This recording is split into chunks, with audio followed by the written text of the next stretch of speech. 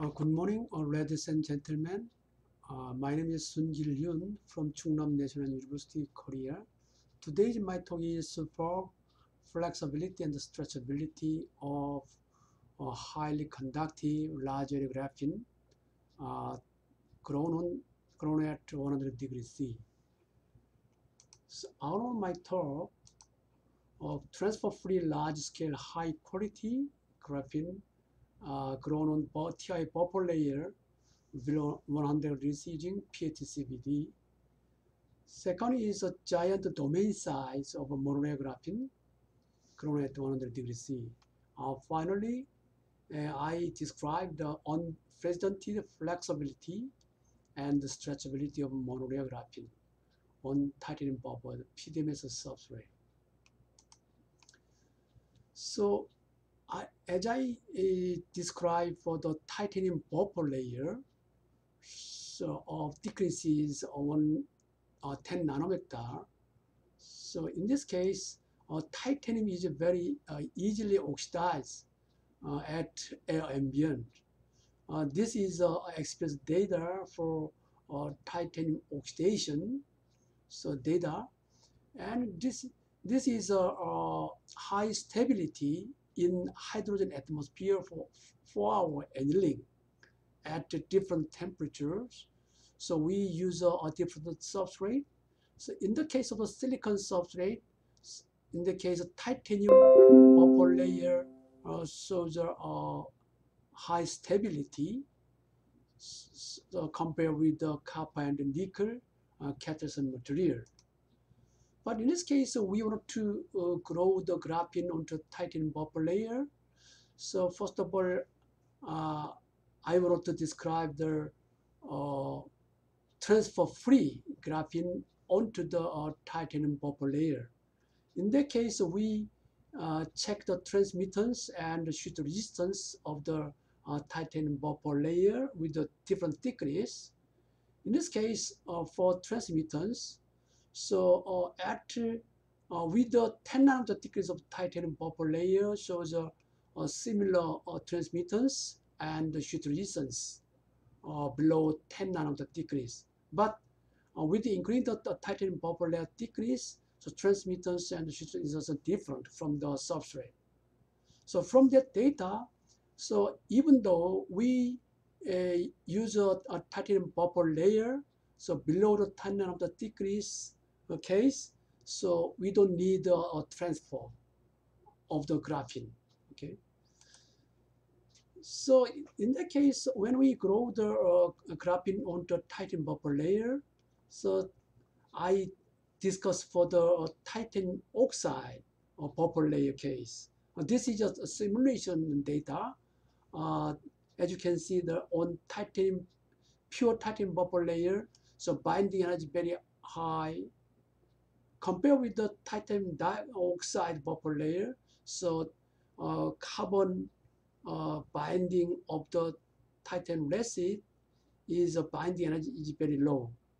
Uh, from this data, we expect that the graphene is not grow onto the titanium oxidation. So we should uh, prevent the titanium oxidation for graphene growth. So we successfully grow the graphene onto the titanium buffer layer, we uh, fabricate the one system. So titanium buffer layer by a DC sputter. After that, we grow the uh, graphene onto titanium buffer layer by the plasma assist thermal CVD. So in this case, so graphene is very, very uh, uh, damaged by uh, plasma. Because of that, so our substrate is apart from the uh, plasma ambient. We uh, check the 10 centimeter uh, apart from the plasma atmosphere. So uh, first of all, I want to uh, discuss for the uh, mechanism of the graphene growth on the titanium buffer layer. So this one is Arrhenius plot of the graphene growth rate and reverse temperature. So from that data, we uh, check the activation energy of the 0.28 electron volt. uh, this is a very low. Then it means this is not uh, sensitive for the temperature variation. So uh, we uh, discuss for the two different mechanism. One is a mass transfer controlled mechanism. Second one is a surface reaction controlled mechanism. So uh, activation is, is very low. That means so graphene growth mechanism is controlled by a mass transfer. Okay, that means so when we supply for enough for methane gas, so graphene growth is a very uh, rapidly grows. From that uh, mechanism, so we increase the working pressure. That means so too much uh, methane gas supply into system. So this is a 1.5 to 1.8 torr. So we obtain the uh, no defect and only monolayer. So from that uh, concept, so we uh, can obtain a large area of graphene growth and very high quality of the graphene. So, we, so I want to know how do we decrease the uh, gross temperature of the graphene onto a titanium buffer layer? So this is a 150 degrees to 80 degrees. So we can obtain the uh, no defect and only monolayer graphene and the high quality graphene by uh, our Raman analysis. So uh, we uh, obtain the uh, high quality by uh, TEM analysis and the Raman mapping image uh, with a, a 4 inch wafer scale of the graphene.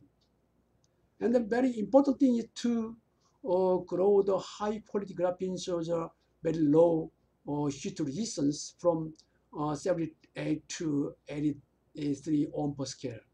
Uh, generally, the reported data for transport graphene uh, reveals a high uh, sheet resistance of uh, about uh, 400 500 ohm per scale. But our uh, transfer free shows a very low sheet resistance. And then we want to know the how much uh, domain size of our uh, transfer graphene. Uh, this is a, a, a polarized, polarized uh, optical microscope image of liquid crystal coated graphene for identification of the domain size. So uh, our uh, graphene so reveals uh, almost 380 micrometer. This is a very, very uh, giant uh, domain size. So uh, from that result, we can uh, make a, FET devices like that. from the data, we can make a, a transfer occur, so drain current versus gate voltage. So in this case, we obtain a, a higher on current and a low of current. So we can uh, distinguish the uh, single crystal FET and the polycrystal FET. That means so our uh, graphene domain size is large. Because of that, we can make a uh, inside a domain inside domain can be applied for the single crystal, and then uh, domain boundary across the FET means a polycrystal FET. So from that data, we can distinguish the single crystal FET and the polycrystal FET. So in the case of a single crystal FET, we can obtain a high hole mobility of about uh, 40,000. This is a very high uh, so um, hole mobility. Uh, this is a, a, domain size of graphene onto the uh, titanium buffer, the PDMS of flexible and stretchable substrate. In that case, average domain size is about 266 micrometer. This is a very high uh, domain size. Okay, so uh, from the uh, previous result, uh, we can describe the flexibility. So this is our reported data for transport graphene. In the case, in the case of the tensile uh, strain case, is a very uh, rapidly increase of the resistance. But our uh, no transport graphene uh, shows a very high flexibility. So we can uh, describe more experimental result. This is a, a single graphene and two-layer graphene and three-layer graphene. That means we uh, grow the multi-layer graphene in in situ, so graphene, titanium, graphene, titanium like that. So you can see that. So with the increase in the uh, multi-layer, so uh, flexibility is increased like that. But we uh, grow the graphene on top PET substrate. In the case, almost 5% uh, tensile strain. So in that case, so uh, so tensile cycle is a very stable uh, flexibility like that. But uh, PET substrate is very important to uh, influence the uh, graphene flexibility like that. So when we uh, bending at the high strain, uh, tensile strain, so uh, substrate is not recover like that. So this one is influence on the uh, graphene flexibility. So this is a, a PDMS PET substrate. This is also like that, the strength recovery state will decrease like that. But PDMS substrate is not bends on the tensile strain like that. So this is a, a PDMS PET substrate. Uh, this is a only PDMS substrate. So we obtain the high flexibility of the uh, monolayer graphene onto the PDMS substrate. This is a 15% strain, is a very high uh, stability like that. So next one is uh, stretchability of uh, transport and the grown graphene on the PDMS substrate.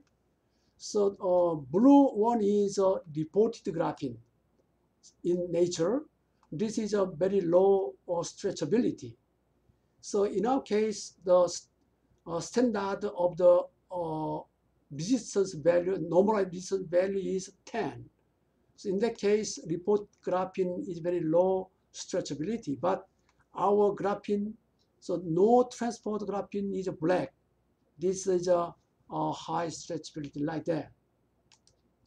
So uh, we want to uh, clearly describe the uh, origin of monolayer graphene. So trans monolayer transport graphene stretchability. So this one is a, a, measurement system like that. So we make a, a long uh, distance and the y is very low. So, so micrometer scale. So this one is uh, parallel means uh, this way stretchability and stretchable and uh, measurement is the same direction. This is a parallel. So perpendicular means mm, this side is a stretchable and this side is a measurement. So uh, in the case of a stretchability case, so parallel uh, is more uh, tough, top data. So you can see that the 60% uh, strain is below the 10 of the federal case, and the 70% is a little bit 10 above that. So we can uh, estimate the uh, some uh, stability of the stretch, stretchability using the LED. So for illumination, in this case, with increasing the strain and then illumination is slightly decreased, and then uh, at 90% strain, after that, that, that is uh, completely recover here. And then, so uh, we can uh, describe the origin for high stretchability of our transport graphene. One is a grain size effect. The second is interfacial layer effect is here. So uh, domain size increasing and uh, breaking strength is increased. And this data is already uh, published in Science Journal. So in our case, we have a large domain size. Because of that, uh, we can make a, a, high stretchability. But that is not important to uh, describe the high stretchability in our graphene. So uh, second effect is interfacial effect. That means, so in our case, graphene grows onto titanium, pure titanium buffer layer. After that, at air ambient, so uh, titanium is oxidized like that. And then graphene and interfacial layer is TiOC. So our graphene uh, form the interfacial layer. Uh, because of that, so graphene is uh, effectively stretched out. So uh, our graphene uh, have a high stretchability uh, because of the TiOC interfacial layer. So we describe the graphene FET, mobility and stretchability. So our graphene uh, FET uh, fabricated by the uh, PDMS substrate. So bottom gate is graphene and active layer is graphene. Source drain is a, a graphene uh, electrode. So all of electron, all of uh, structure uh, include the graphene structure.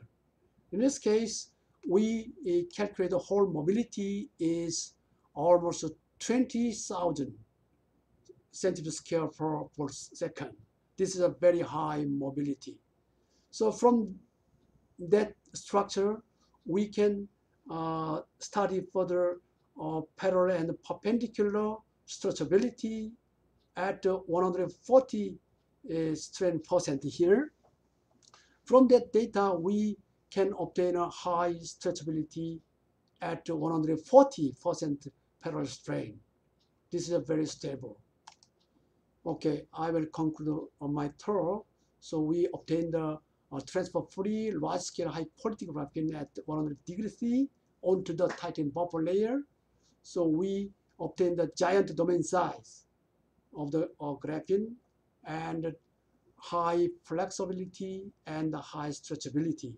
So we obtained the graphene FET, uh, present our superb stretchability under 140% parallel strain.